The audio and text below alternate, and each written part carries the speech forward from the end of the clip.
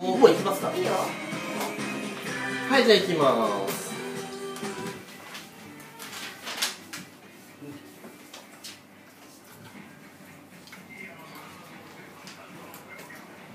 イエーイ。イエテンション上げていかないと。追いつかないですからね。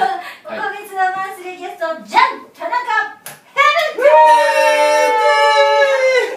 違うじゃない。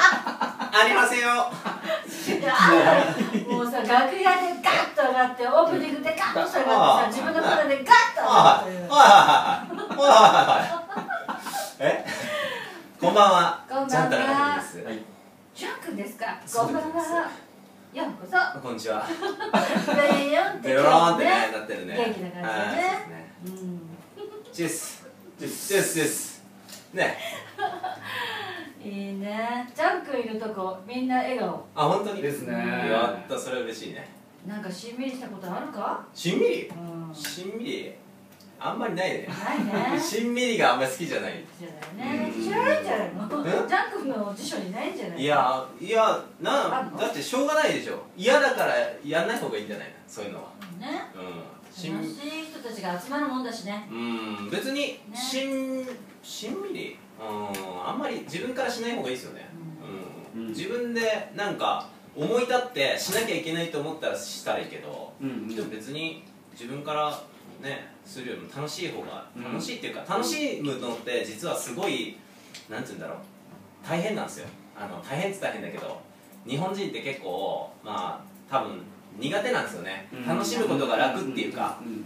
私ね昔ね、あのー昔っていうかすごく近し近所にね、うん。私もちっちゃい自分の子供を抱えながら、はい。が外人のお友達ができたら、はい。うんでホームパーティーとかしょっちゅうやってたのね、とにかくさ一個のことをこんなに広げるよね表現が、一個イヤリング可愛いのしたら「あなん。な私の本名のりこって言うんだけど「あのりこそのイヤリングは可愛いすっごい似合っててどこで買ってたのすっごいすっごい」って30分ぐらい褒めてくれるのね、あ海外の人がってことね。そう。あそのね表現力の豊かさに、ね。いやだってそれそう思ってるからやってるだけで、ねうん、別に日本人のいいところもいっぱいあるけど、ううんん別にそんなに落ち込まなくていいんじゃないかなと思って、うん。みあのねなんか真面目なのみんな。あでみんな、ね僕ら僕らも含めてみんな真面目なんだけど、うん。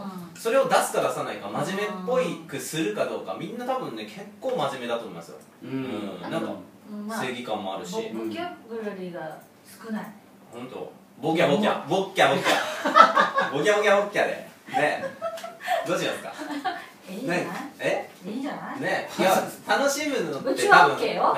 え？えクリスタル的には OK よ、オッケーうん。いやね。もっともっと特にミュージシャンの人とか表現する人たちは、もっと出ないでどうするの？そうそうそうそう。どどんどんどんどんやればいいんだよね。ううん。だってそれ望まれてればねうん。やればいいし。ううん。で絶対ねそうやってやってるけど相手のこと考えてるからみんな。うん。うん。ジャン君ね。いや僕もそうだけど みんなそうだよ。みんなねうわーとかやってねぐっちゃぐちゃやったりねオラオラとかやってる人たちもみんな優しい人とかも多いし。あそうなんか盛り上げようってしてるだけだったりするから、うん。意外にすごいねあのナイーブだったりする人も多いし、うん。そのあのアーティストがね、そうん。自分がすごいこうなんて言うんだろうね弱い人間だったりするけど、うん。なんか人を勇気づけたいっていう気持ちでやってる人とか多いから、だからね、うん、全然そういうふうにみんなやればいい、ねやまあ、やれる人とやれない人と多分いるんだと思うんだけど、そうね、もっとやれる場所がいっぱいになったらいい、ね、まあそれもいいし本当本当、うん。今回のほらね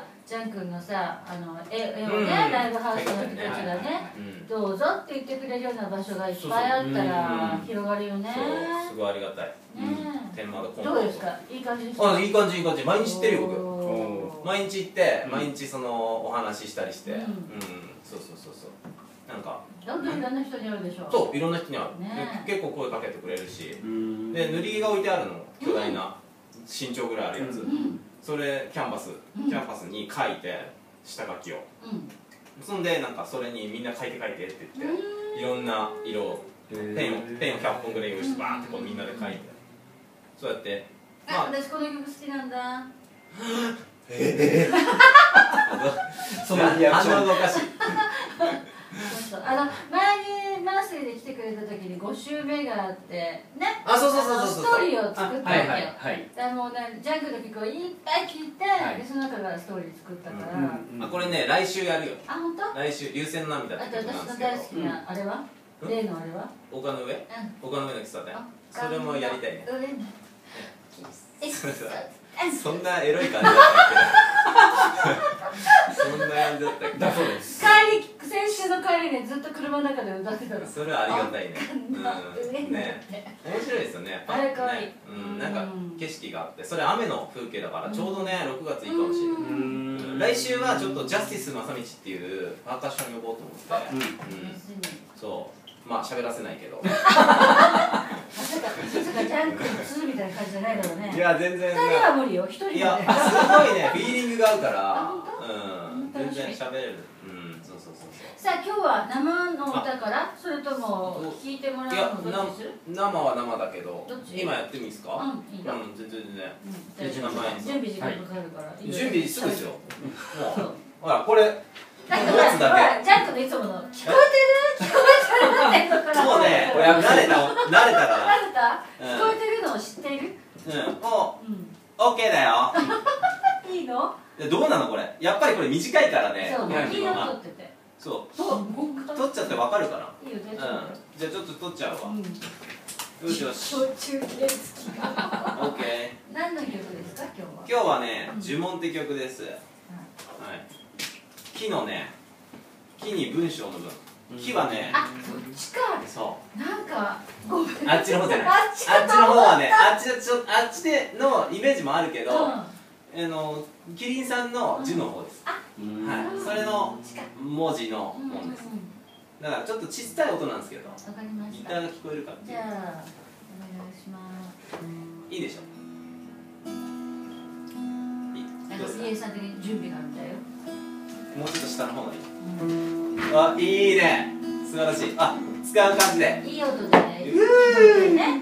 うん。そうそうそう。気になるんで僕すごい音がそうかそれ押さえといてあげたらそうそうそうそう。ゆ指で弾くのね。そう。実はね手首やられちゃってんですよなんか知らないけど。なんで？わかんない。手首が動かない。まあいいよ。声高くのかと思ったえわそうでしょ。桜の間から。まあでも手首があれでもですか？